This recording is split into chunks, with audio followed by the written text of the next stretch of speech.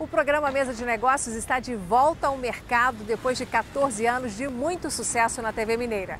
Eu estarei junto dos empreendedores neste processo de retomada da nossa economia, porque o nosso mercado tem muito espaço para crescer.